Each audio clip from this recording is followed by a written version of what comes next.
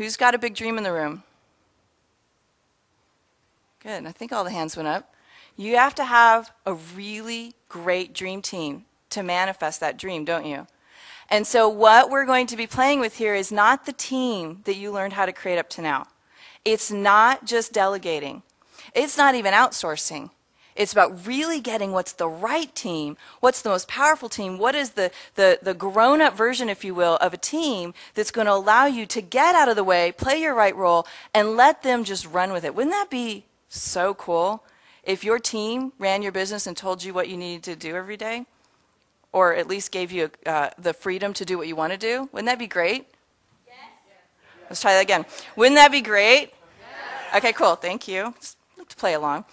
So, dream team, we're going to design that dream team. We're going to make sure that the team that you're creating is congruent with the business vision that you have because one of the fastest ways to fail is to try to build a bigger business and a more powerful business with a team that was designed just to get you off the ground. Anybody found that along the way? Okay, cool. We're going to play with that and, and help you get really, really clear.